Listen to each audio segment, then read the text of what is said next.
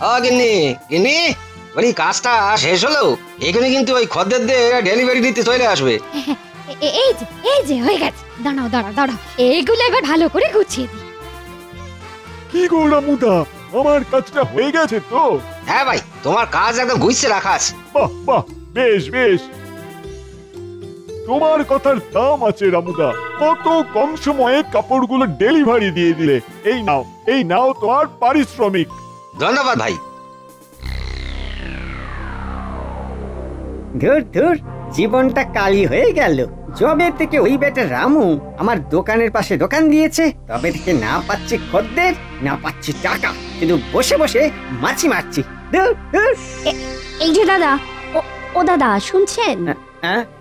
হ্যাঁ, হ্যাঁ, দিদি বলুন বলুন বলুন। আমার এই শাড়িটা না এক জায়গায় একটু ছিঁড়ে গেছে। আপনি কি রিফু করেন? হ্যাঁ করি তো করি।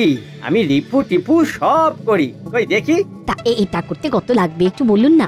সকাল থেকে তো একটা খদ্দের পাইনি। তাই এই একটা কাজ থেকেই সবটা উসুল করে নিতে হবে। দিদি দিদি আপনি আপনি ওই চারশো টাকা দেবেন। চারশো? কি বলছেন দাদা? এইটুকু রিফু করতে চারশো না না না না না না। এত তো হবার কথা নয়। কথা নয় মানে? দর্জি আমি? না আপনি? চারশো টাকা মানে চারশোই। এর থেকে এক টাকাও কম হবে না। না না দাদা থাক থাক তাহলে। আমি পাশের দোকান থেকে করিয়ে নেব। ধুর আর একটা খদ্দের রামুর জন্য হাতছাড়া হয়ে গেল। ধুর ধুর বাড়ি যাই। আর ভালো লাগে না ছাই।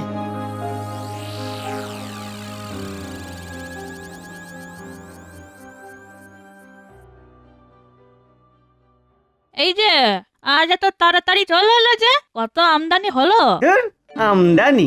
একটা টাকাও আমদানি হয়নি আজ। বলি রোজ রোজ এরকম খালি হাতে ফিরলে এই সংসারটা চলবে কি করে শুনি? কি করব বলো বউ? ওই রামুর জন্য ওই রামুর জন্য একের পর এক খদ্দের হাতছাড়া হয়ে যাচ্ছে। কি যে করি কিছু বুঝতে পারছি না। ওই বেটা দোকান দিয়েই তো সব মাটি করে দিল। তাই রামুর দোকানটা তুলে দিলেই তো পারো। তুলে দেব? কি করে?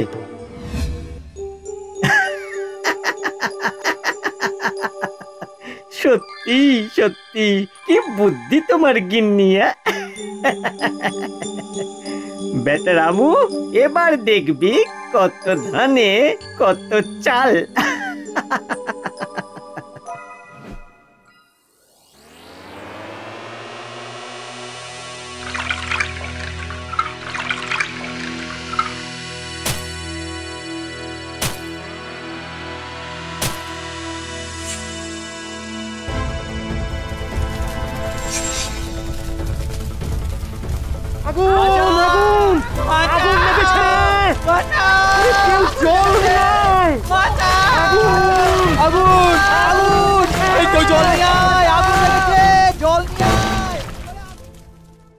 কি সর্বনাশ হইলে রে? হায় হায় হায় হায়। আমার দোকানটা একেবারে পুরে ছাই হয়ে গেল। হায় হায় এ হায় হায়। এ ভগবান এ কি করলে তুমি? হায় হায় হায় রে। কেঁদো না কেঁদো না। কেঁদে কি আদৌ কোনো লাভ হবে বলো? থেকে ভাবো না ভাবো। এখন আমরা কি করব? কি আর করব? এবারে আমরা না খেতে পেয়ে মরবো। হায় ভগবান! কাঁদ রামু আরও কাঁদ। তুই যত কাঁদবি আমার ততই লাভ।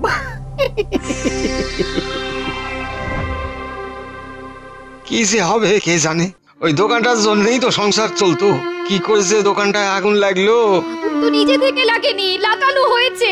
লাগানো হয়েছে মানে? বুঝতে পারছ না? ওই শামু শামু তোমাকে হিংসে করে। আমার মনে হয় ওই ওই পরিকল্পনা করে আমাদের দোকানে আগুন লাগিয়েছে। হ্যাঁ হতে পারে হইতেই পারে। কিন্তু কোনো প্রমাণ ছাড়া আমরা কি বা করতে পারি বলো গিন্নি? এবার আমাদের সংসার চলবে কি করে? এত ভেঙে পড়ছো কেন? দোকানটা নেই তো কি হয়েছে? আমরা সে রাস্তায় বসবো। দেখবে আমাদের খদ্দের কমতি হবে না। হ্যাঁ হ্যাঁ গিন্নি ঠিক বলেছ একদম ঠিক বলেছ। কাল থেকে আবার নতুন ভাবে শুরু করব।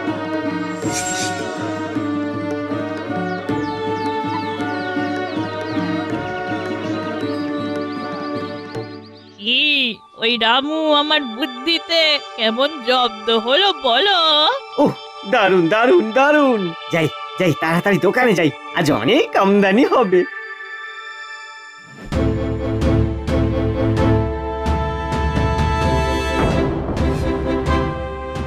হ্যাঁ কি? দোকান পুড়িয়েও বেটাকে জব্দ করা গেল না দেখতে পাচ্ছি। এটা রাস্তায় কাজ করতে বসেছে। কিন্তু যা ভেবেছিলাম তার উল্টো ফল হলো। এই যে দেখছি আগের থেকেও বেশি ভিড় জমেছে হ্যাঁ।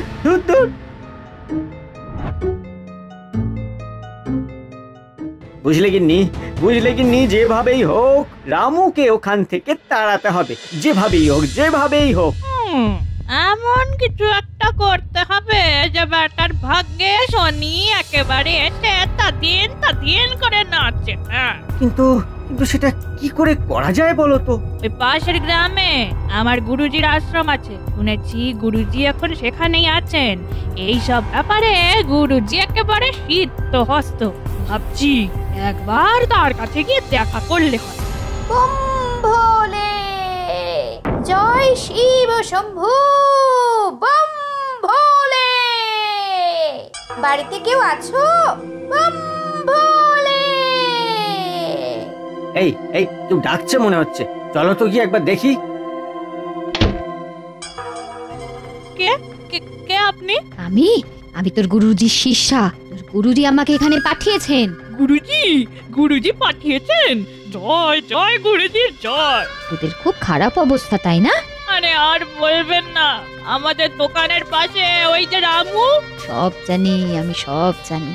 গুরুজি দিব্য দৃষ্টি দিয়ে সব দেখেছেন। তাই তো আমাকে পাঠিয়েছেন তোদের সমস্যা দূর করতে।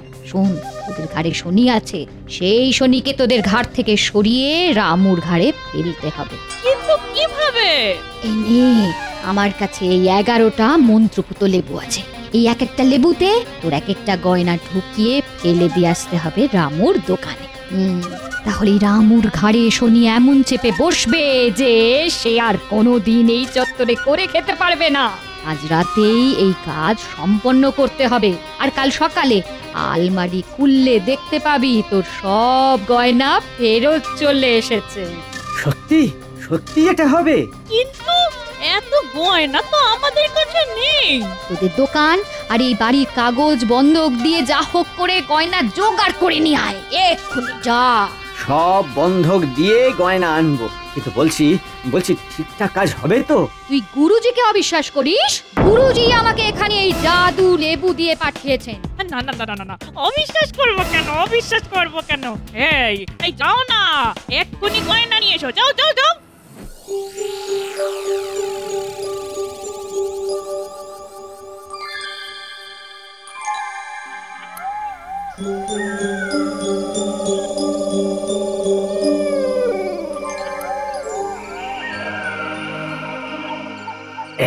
এবার লেবুগুলো এখানে রেখে দিই। তাহলেই কাল সকাল থেকে রামুর ব্যবসা একেবারে লাটে উঠবে।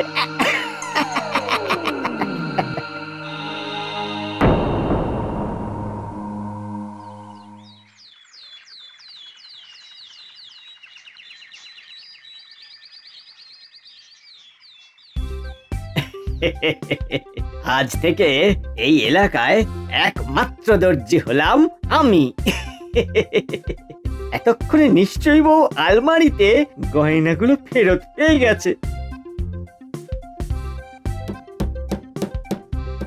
হ্যাঁ এ কি? এটা কি হচ্ছে? আজ থেকে তো রামুর ব্যবসা বন্ধ হয়ে যাওয়ার কথা ছিল হ্যাঁ? ও- দাদা আরে ও দাদা কি ব্যাপার বলুন তো? রামু দোকান সাজাচ্ছে এত টাকা ও কোথায় পেল? কি জানি বলছে তো সকালে দোকানে এসে দেখে কয়েকটা লেবু দোকানের মধ্যে পড়ে আছে আর আহ, সবগুলোর ভেতরে নাকি অনেক গয়না পেয়েছে। যাকে ভালোই হলো ভালো লোকের সাথে তো ভগবান ভালোই করেন। লেবু গয়না? কিন্তু কিন্তু গয়না তো গয়না তো ফেরত পাওয়ার কথা।